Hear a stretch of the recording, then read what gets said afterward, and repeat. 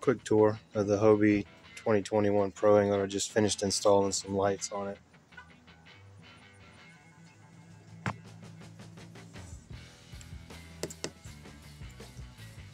In four white, they're white and red LED.